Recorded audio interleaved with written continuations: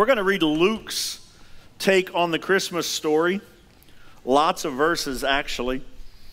And uh, you can follow along on the screens, or if you have a Bible, you can turn to Luke chapter number 2. and let's read together. In those days, Caesar Augustus issued a decree that a census should be taken of the entire Roman world. This was the first census that took place while Quirinius was governor of Syria. It's interesting to me uh, that Luke includes notes like that uh, because they're unnecessary. And I think the fact that he includes them is great evidence to, to the reality of what's going on here. If this was a once upon a time story, then details like Quirinius being the governor of a particular place don't matter.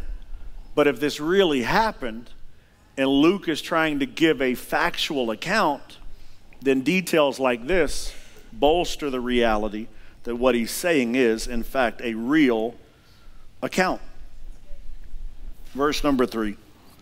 And everyone went to their own town to register. So Joseph also went up from the town of Nazareth in Galilee to Judea, to Bethlehem, the town of David, because he belonged to the house and line of David. He went there to register with Mary, who was pledged to be married to him and was expecting a child. While they were there, the time came for the baby to be born. And she gave birth to her firstborn son, her firstborn, a son. She wrapped him in cloths and placed him in a manger because there was no guest room available for them. And there were shepherds living out in the fields nearby, keeping watch over their flocks at night. An angel of the Lord appeared to them, and the glory of the Lord shone around them, and they were terrified. Have you ever noticed that? When the Lord's glory shows up in Scripture, it's scary. They were terrified, but the angel said to them, Do not be afraid. I bring you good news that will cause great joy for all people. Today, in the town of David, a Savior has been born to you. He is the Messiah, the Lord. This will be a sign to you. They needed a sign because when they go looking for a baby, there may have been more than one baby born that night. But the circumstances of this birth would be a sign, specifically, that they would find a baby wrapped in cloths lying in a manger. You don't lay babies in mangers. You know what a manger is? It's like a horse trough. So if you go to Bethlehem looking for a baby, you might find several that were born tonight. But when you find the one lying in the horse trough, you'll know that's the right one. suddenly, as soon as the angel gave that news, suddenly a great company of the heavenly host appeared with the angel, praising God and saying, Glory to God in the highest heaven, and on earth, peace. Somebody say, Peace peace to those on whom his favor rests. When the angels had left them and gone into heaven, the shepherds said to one another, Let's go to Bethlehem and see this thing that has happened, which the Lord has told us about. So they hurried off and found Mary and Joseph and the baby who was lying in the manger. When they had seen him, they spread the word concerning what had been told them about this child and all who heard it were amazed at what the shepherds said to them. But Mary treasured up all these things and pondered them in her heart. The shepherds returned to their fields, glorifying and praising God for all the things they had heard and seen, which were just as they had been told. Let's pray. Lord, as we read through this familiar story, I pray that you would speak to us in a fresh way. That this Christmas would be more about you and the reality of what you have done and want to do for us than ever before in our lives. Speak to us today by your Holy Spirit. In Jesus' name we pray. Somebody help me say, Amen. Amen. You may be seated.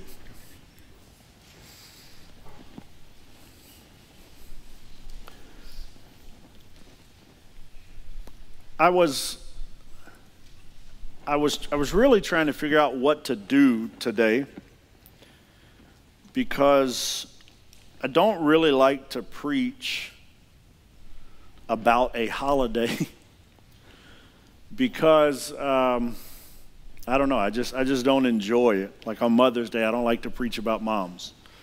On Father's Day, I don't like to preach about dads. I just feel like it's too on the nose. And so today, I really felt like we should read the Christmas story, but also didn't want to preach about Christmas. Is that all right? Do I sound like a Grinch? Okay, trying not to.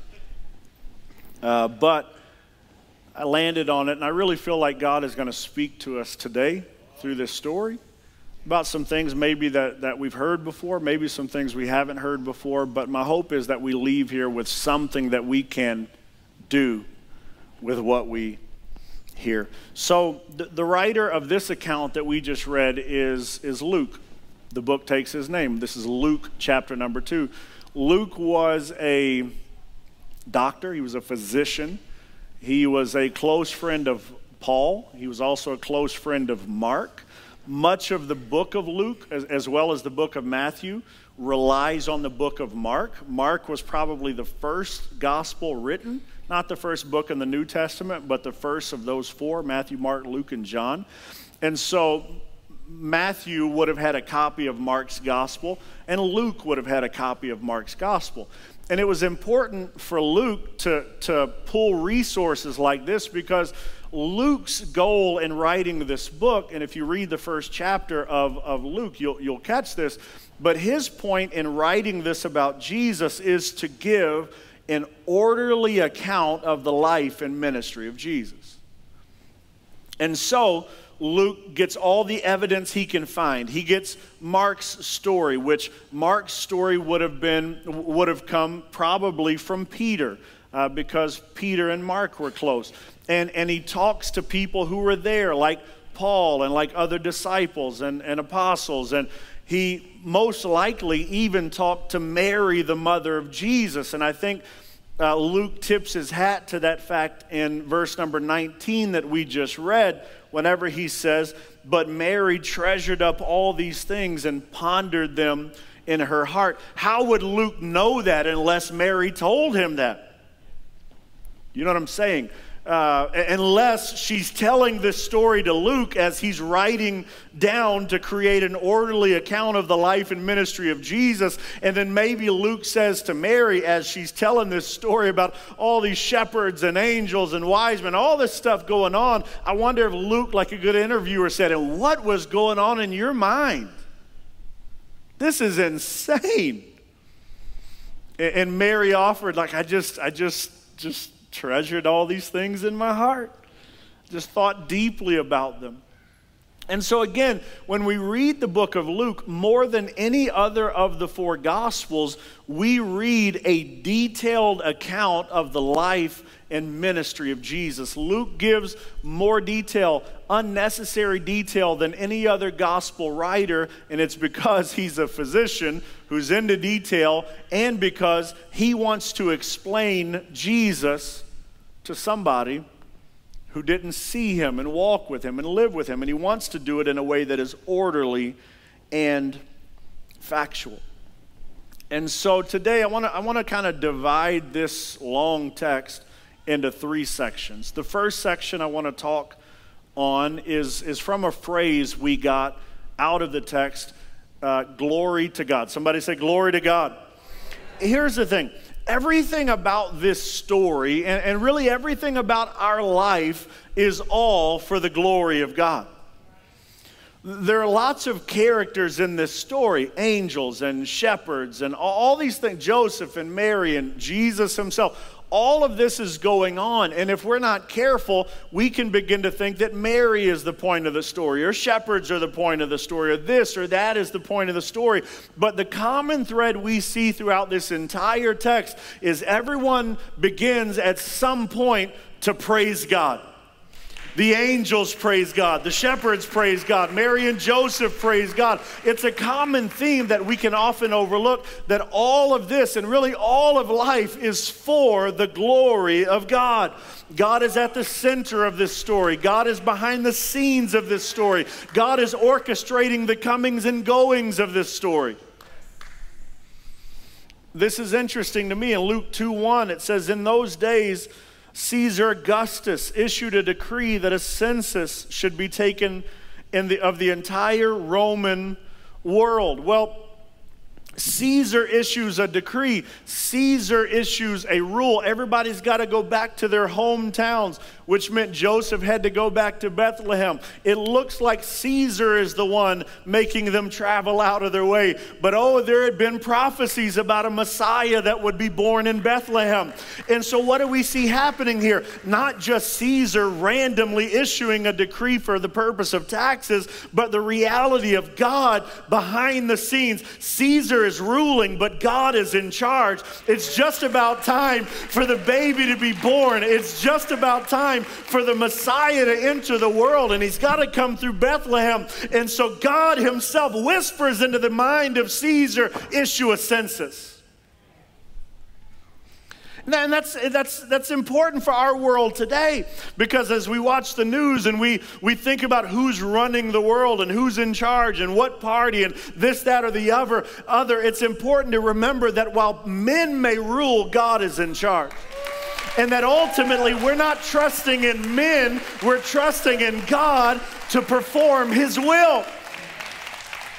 When we get in our flesh, we can look at life and look at the world and look at the people in charge of entertainment and gov- government and say, oh, it's all going to hell in a handbasket. Well, hey, not if God has anything to do with it. God is still in charge, God is still ruling, and God knows how to work through rulers, whether they are cooperating willfully or ignorantly. Caesar must have thought he had a great idea, but in reality, it was God working through him. And so, I guess what I would say to believers today is lift your eyes a little bit higher. Lift your eyes a little bit higher that God knows how to work through men. God raises up kings and brings down kings. God raises up presidents and brings down presidents. God puts in who He wants in, and God knows how to work through them even when it looks like He can't or isn't. Is anybody grateful to know the one who's in charge?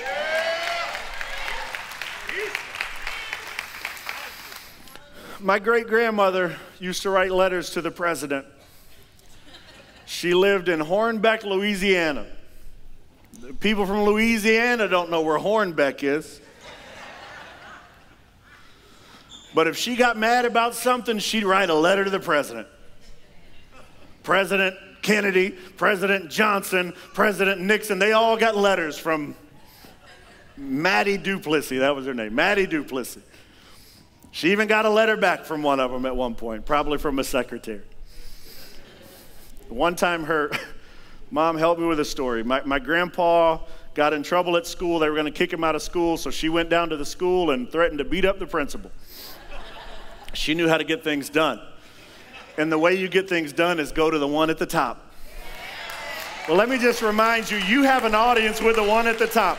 You don't have to write a letter to the president. You can call on the name of the Lord our God because though men may rule, God is in charge. God knows how to get done what you need done. God knows how to perform His will even when circumstances don't look to be in your favor. So Caesar issues an edict, but really it's to get, and imagine this the entire Roman world was affected, but it was really to get two people in the right place. Amazing, amazing. It's for his glory. He's in all of it. And my encouragement is lift our eyes a little bit higher. And so while all this is going on, Mary and Joseph get to Bethlehem and, and, and the baby's born. There's no room for them at the inn. They're most likely in a cave somewhere surrounded by animals, and uh, Mary gives birth. Well, while all of this craziness is going on, Some other craziness is happening just outside of Bethlehem on a dark night in the hills. Verse number nine, it says, An angel of the Lord appeared to them, and the glory of the Lord shone around them. I want you to get this picture. There are shepherds out watching their sheep. It's nighttime. They're probably asleep. Maybe there's somebody up taking watch. But for the most part, they're, they're laying down, they're camping for the night. And all of a sudden, the glory of the Lord fills the sky. Nobody's asleep now. As a matter of fact, they're more than awake. They're terrified. What's going on? Can, can you imagine that? Have you ever been out in the country on a dark night and it's just, just black darkness everywhere? Well, imagine you're out there and all of a sudden, out of nowhere, before electricity, a light makes it like noon outside. What would you do? Like, oh my God, it's, it's all, you know, I see the light, it's over. That's what they did. They, they freak out so much so that the first thing the angel says is, Don't be afraid, don't be afraid. It's like me when I walk in the house and my wife wasn't expecting me to be home early. I'm like saying, Hey, hey, it's me, it's me. So I don't need her coming around the corner with a weapon, you know what I'm saying?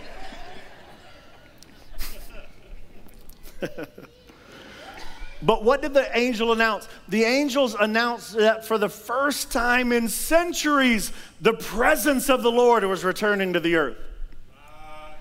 Let's use the shepherds on a black night and the light opening up the sky as a metaphor. I think it is. The earth had been dark for hundreds of years. God's presence had, had withdrawn from the earth. He's not speaking to people. He's not moving on prophets like he did in the Old Testament. He spoke to Malachi and then he withdrew his presence. The world was dark. And then the light came.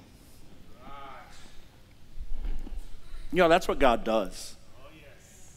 God, at, at various times, because of, of, of the sin of men and women, even now, God will seemingly go, go quiet.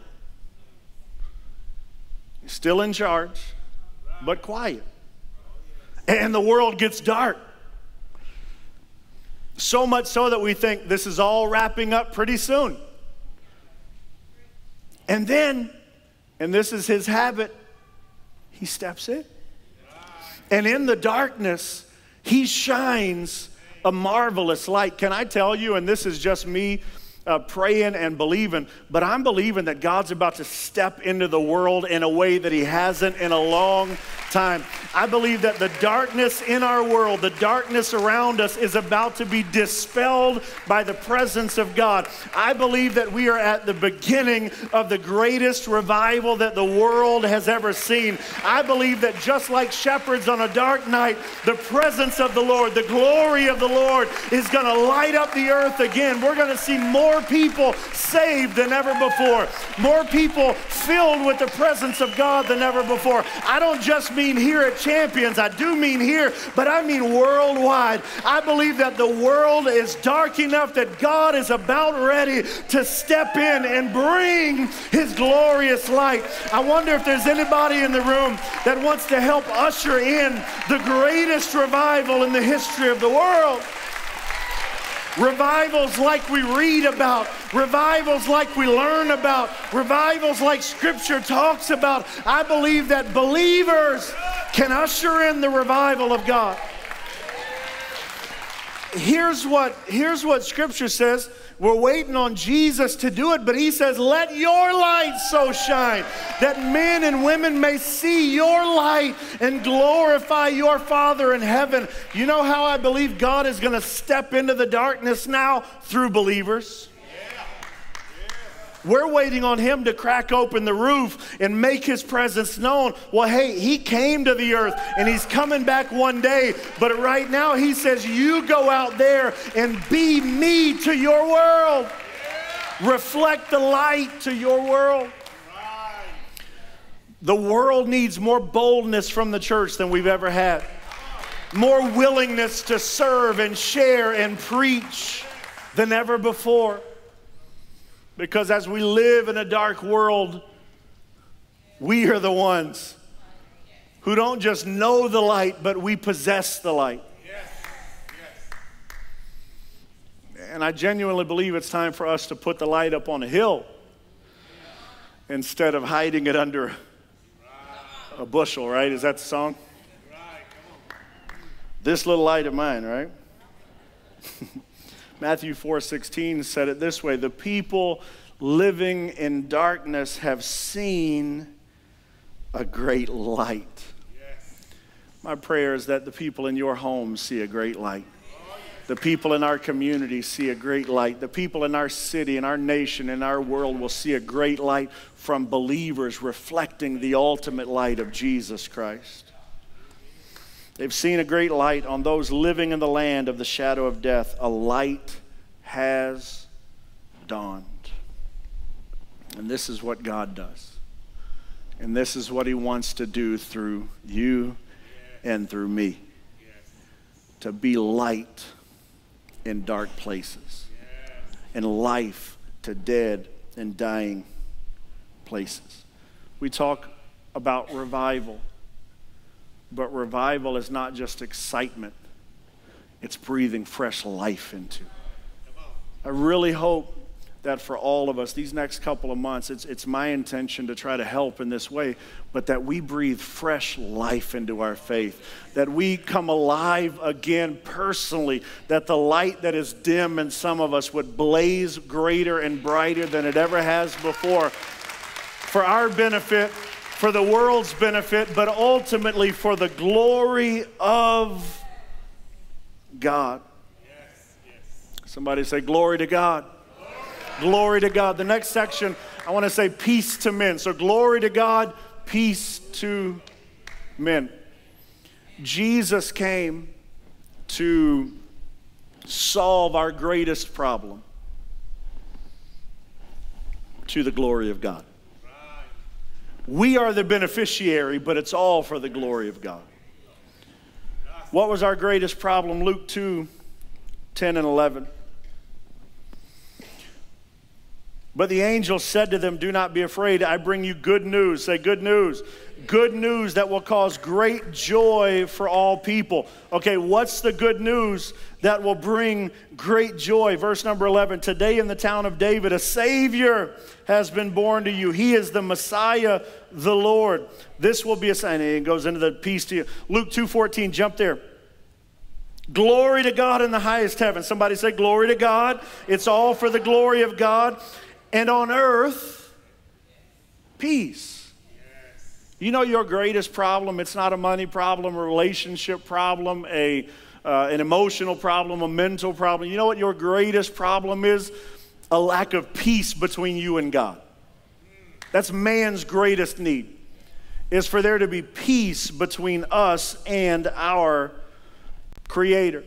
And, and this would have been big news for the world at that time because uh, Caesar Augustus, arguably the greatest of all the Roman emperors, uh, and Julius, his uncle, had ushered in what they called the Pax Romana, or the, the peace of Rome, meaning there was a few decades where there was no war, and they declared peace in the Roman Empire. But here's what a philosopher of that day said While the emperor may give peace from war on land and sea, he is unable to give peace from passion, from grief and envy. He cannot give peace of heart for which men and women yearn for more than they ever yearned for outward peace. Men have been able to create times of peace on the earth, but only Jesus can create a life of peace in your heart. Only Jesus can bring peace where there was hostility. I genuinely believe there are lots of people walking around with what they try to self diagnose as all kinds of issues, when in reality, the greatest issue is that there is no peace in their heart between them and their Creator. You were created to be in an unbroken relationship with God. You were created to walk with God and talk with God and be in concert with God. And as long as sin puts up a barrier between you and God, there is no peace in your life. You can make all the money you can make. You can have all the success that you can garner. You can have all the relationships that you want. You can do feed all of your flesh's desires to the highest degree. But as long as there is hostility between you and God, you will never find peace. It is man's greatest need, and it is why Jesus came to the earth. It's why it was good news that would bring great joy, because the only one who could bring peace for the first time in centuries had stepped onto the face of the earth, and those living in darkness are about to see a marvelous light that I don't have to grope my way through in darkness and in brokenness and in hostility between me and God, but I can know God, I can know peace, and I can see a great light. Come on, is there anybody grateful for the good news? Is there anybody with great joy because of the good news that you can be at peace with your Savior? Woo! And here's the thing, everybody. And this is why Jesus is not like every other person who's founded a religion on the earth. Because Jesus didn't come just to bring peace, He came to be our peace. And, and that, this is why you can't have Christianity without Christ. You can follow the book as well as you want, but if you don't know Jesus in a personal way, then you will not experience the power and the peace of Christianity. Christian principles have shaped the world, but even Christian principles without Christ fall short. Because it's not about keeping a way of life it's about knowing the Savior and surrendering our life to Him. He didn't come just to bring peace by teaching and talking and instructing, He came to be our peace. Ultimately, by giving His life on the cross to pay the penalty for our sin. Here's what Paul wrote in Ephesians 2:14. For he himself is our peace. He's made the two groups one and has destroyed the barrier, the dividing wall of hostility. See, before we know Jesus, before we surrender our life to Him, we are in a hostile relationship with God. Even if we don't express it with our mouth or even know it at the front of our mind, the way God views those outside of a relationship with Him is that there is a dividing wall of hostility. Because our flesh is hostile against the holiness of God. And so Jesus comes and with his life and ultimately his death and resurrection, he comes, as we sang about earlier, to tear down the barrier, to create peace where we are restored to an unbroken, unfettered relationship with our Creator. That's why you need Jesus. You don't need Jesus to get rich. You don't need Jesus to, to just so you don't feel guilty about what you did last night. You need Jesus to put you in a right relationship with God, to tear down the hostility between you and God and create peace in your soul. No one else and nothing else can do that. Only Jesus can. Only Jesus can. And so, what do we do with all of that? Let's go, let's go back to those shepherds out on the hill. Because I think in some ways we're those shepherds. We're living in a dark night in one way or another in your life, God is shining his light or has shown his light. What do you do with that? Once you've seen the light, once you've heard the word, what do you do with what you've seen and what you've heard? Luke 2:15.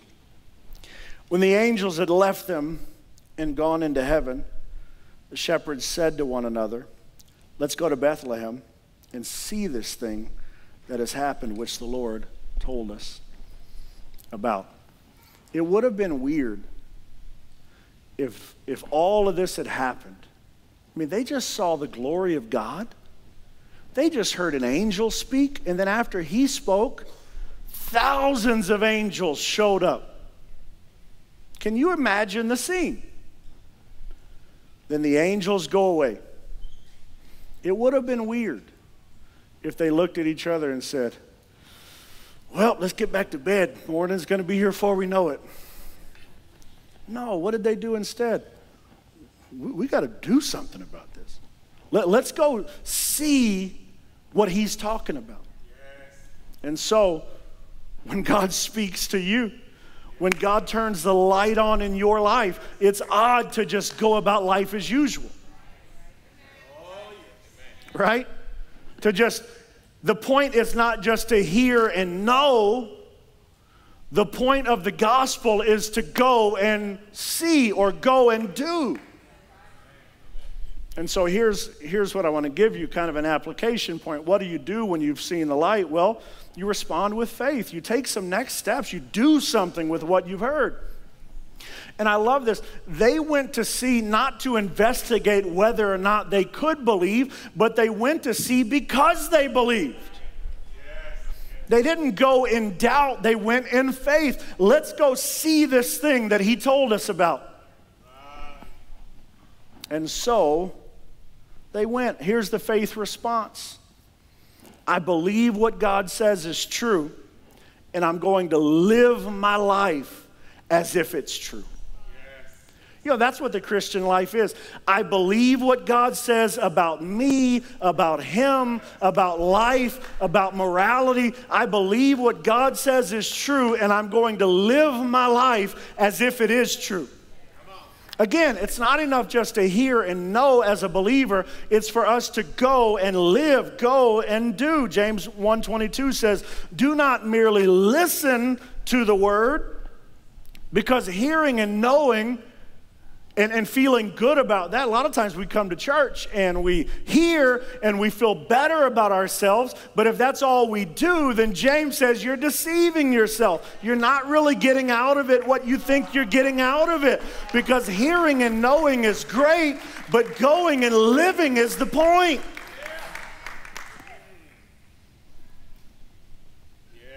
Y'all all right? Okay.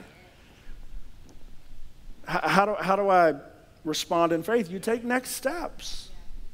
And I know we use that, that language a lot here, but it really is important that all of us recognize that we all have next steps to take. That God is constantly calling us to come and see or to go and live. You know what I'm saying? All of us have next steps to take. And I think as a believer, we should from time to time take 5, 10, 15, 30 minutes to just kind of figure out where I am as a Christian and what's God calling me to. What's next? How can I continue following Jesus? It's, it's relatively simple in the beginning because if you are not a believer, you need to cross the line of faith and become a believer. That's your next step. If you become a believer, then you, you, need to be baptized. That's a great next step. And we're baptizing this month on the third Sunday, not the fourth Sunday, because if you come on the fourth Sunday, I'm going to be at home opening gifts for my children. But on the third Sunday, we're going to baptize people. And so if you're a believer and you haven't been baptized, December 18th is your date. Uh, if you're a believer, whether you've been baptized or not, you need to connect with the local church. You need to come to Growth Track next month. And uh, we've got some news about Growth Track. It's actually going to start happening on Sundays starting next month. And so on January 8th, you need to be in Growth Track. Take a next step. Connect with the family of God, connect with the body of God. There's some folks here, you need to begin serving. You've been consuming long enough. You got to start contributing, whether that's tithing, giving, serving, whatever it may be. Again, as the family of God, we all bear responsibility for the work of God. And so, if we believe what God is saying, we respond as if it's true. And we live lives that make a difference for His kingdom. That's what the shepherds did. They didn't just go back to sleep and talk about that experience they had. They stepped towards it and stepped it out. As a matter of fact, when they, when they got to Bethlehem, they, they couldn't help but tell everybody about what they had seen. You know, as believers, we still have a responsibility to tell people about Jesus. Whether you're good at that or not, we all bear responsibility to tell people about the great light that can open up their darkness. So Luke 2:15 respond with faith. Let's read verse number 16 because that's not all there is. So they hurried off and found Mary and Joseph and the baby who was lying in the manger. The word found there in Luke 2:16 it literally means found after a search. So I didn't read and it doesn't imply that the angel told them exactly where Mary, Joseph and the baby were. They said Bethlehem. And at this moment, Bethlehem is overrun with people. And so the implication here is that they went to Bethlehem looking for a baby. He probably wasn't in the first cave they found. I don't even know if they knew he was in a cave.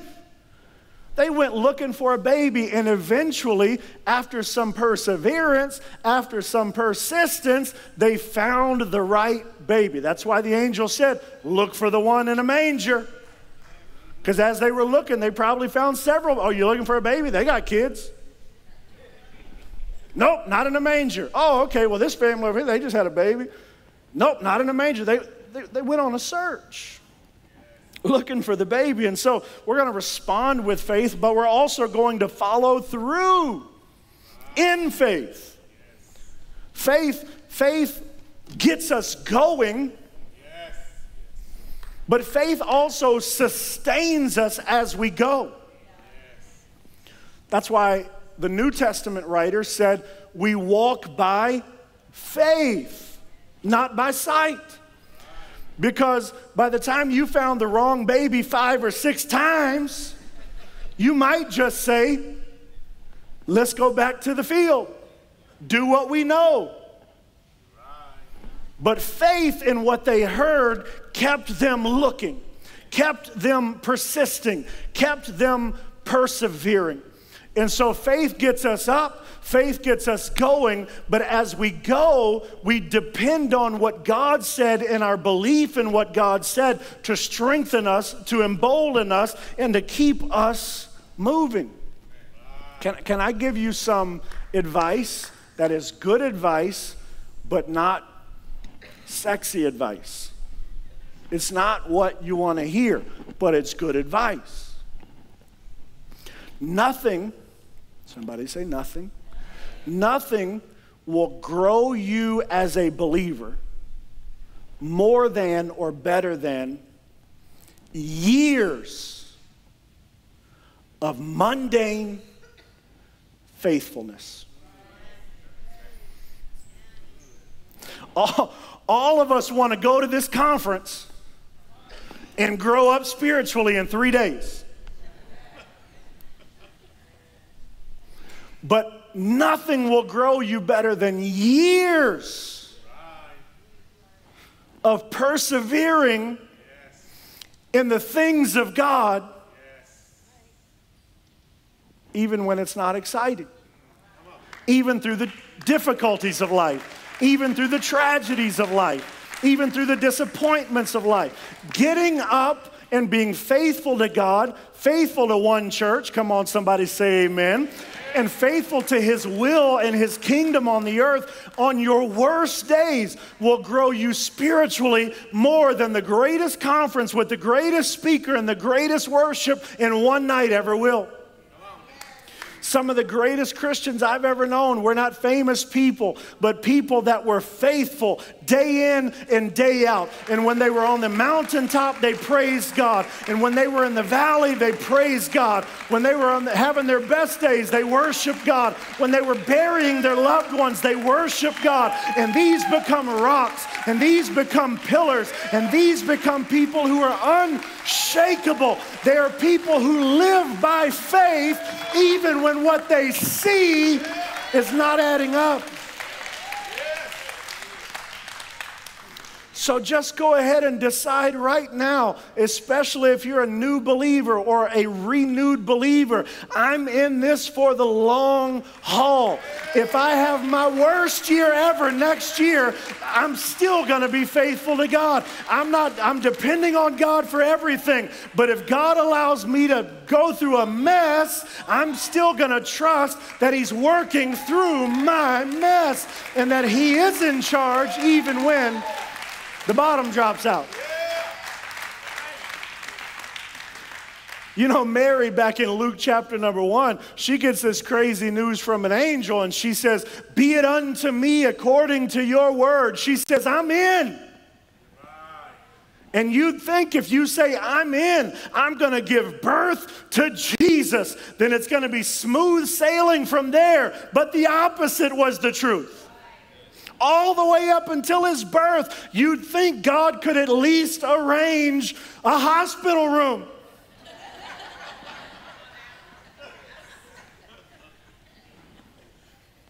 or just a comfortable bedroom. It would have been easy in that moment for Mary to say, I must have heard wrong. Even when it looked like he wasn't involved, the manger was the sign. God, God intended the manger. It wasn't he forgot and they ended up in a manger. He intended the manger so that the shepherds would know when they found the right baby. A lot of times, the difficulty in your life and your faithfulness through the difficulties in your life are a testament to people who are watching that God is real. See, we tend to think that people will say yes if they see us on our mountaintop, but really, it gets people's attention more when things aren't going well, and yet you still say, Be it unto me according to your will. I will give glory to you, Lord, in every season.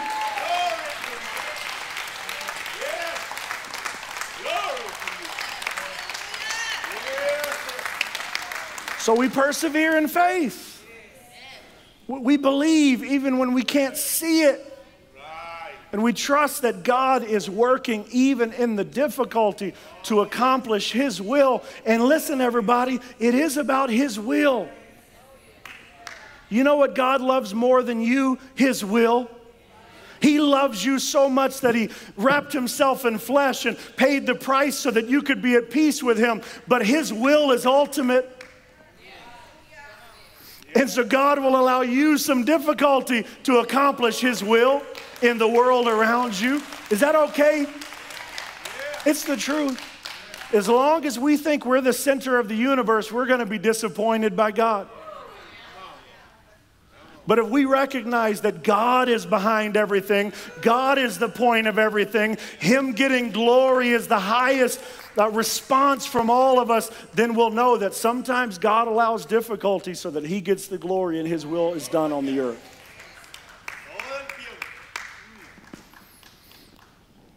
I feel like Pastor Steve right now. Luke 2:20. So we respond with faith. We take next steps. We follow through in faith. Mundane faithfulness for years, for a lifetime. Perseverance. Luke 2:20. I love this. The shepherds returned to their fields, glorifying and praising God for all the things they had heard and seen, which were just as they had been told. When they persevered, eventually they saw exactly what they had been told. It may have looked along the way like we were mistold, we were misled. But when they persevered until they found Jesus, it was just as they had been told. And here's what I love, and this is maybe not the point of the story, but I like it nevertheless. They went, all this happens angels, glory, Jesus, manger, Mary, Joseph, all this stuff happens. And then what do they do? If, if this had happened today, they'd go get business cards. They'd change their name on Facebook to, to Prophet Shepherd. Apostle Shepherd, Minister Shepherd. They'd launch a ministry and a website. They'd create a YouTube video telling their story. They'd take bookings. They'd have a booking link on their website. But what did these guys do? They went back to their fields. They went back to their life. But they didn't go back the same way they had left. They went back praising God. They went back just as they had done the people in the stable, telling everybody that they saw along the way what they had seen and what they had heard and giving glory to God. You know, here's the last point I want to give you is this live out your faith right there where you live.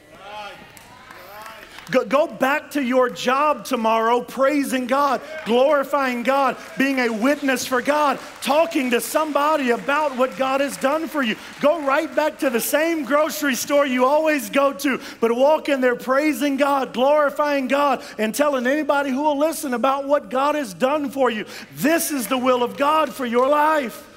Not that we all become professional ministers because there's somebody that needs to hear it from you because they won't hear it from me. There's somebody that you know at your job. You prayed for that job. God gave you that job. Quit grumbling about that job. Quit complaining about that job. You might be the only believer in your office. Well, God's will be done in your office. Walk in there tomorrow praising God, glorifying God, and telling anybody who will listen about God. This is living life on purpose. Not that I just feel God in church, but that I glorify God seven days out of every week week. Wherever I am, that I go back to my field with a praise on my lip, that I walk into my home with some praise on my lips, that I go back to that uh, husband or wife that don't love Jesus with a praise on my lip, that I go into work with some glory on my lips, that I go to Starbucks with some praise on my lips that I live a life between Sundays that brings glory to God. I live out my faith. Not just for a week or for a couple of weeks, but for years and decades and for a lifetime. So that when I go, the greatest thing somebody can say about me is they never wavered, they loved Jesus all the way till the end. Paul said, I've run the race, I've finished my course, and now I'm being poured out. That's what it looks like to live for Jesus, everybody. That I get started in faith, that I persevere in faith, and that I live the long haul in faith. Hmm. And I'm looking at heroes all over this room people that God wants to use to change lives right there in your field, in your sphere of influence. There are shepherds in here who lead classrooms and lead businesses and lead customers and lead families and lead homes. God wants to use you in that sphere of influence. But you got to live out your faith, tap into your purpose. Now, I want you to come to Growth Track next month, but I'm going to give you the short version because I'm out of time. You want to know about your purpose? It's about using your life to bring glory to God by accomplishing eternal purposes. It has everything to do with the church. You say, Chase, well, I don't know about that. God's building on the earth a church and everybody in the family has a responsibility in what he's building. I really want to strongly encourage you, strongly encourage you as we close a year and get started on a new year to re up a fresh commitment to God and to what He's building on the earth. Through that, you'll find your purpose. Can I pray for you?